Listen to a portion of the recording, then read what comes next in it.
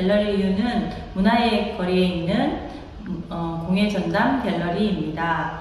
어, 여기에 오셔서 문화와 예술을 많이 체험해 주시면 좋겠습니다. 여기는 체험과 전시가 함께하는 공간입니다.